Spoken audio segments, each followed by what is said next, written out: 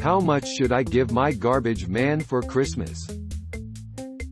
A holiday gift valued at $20 or less is okay, as are gifts worth up to $50 in a year. Teachers typically may not accept cash, so give a gift worth $25 or less. Or, better yet, get together with other parents on a group gift. You tip regularly throughout the year.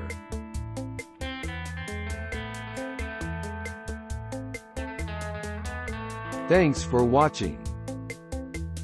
Please subscribe.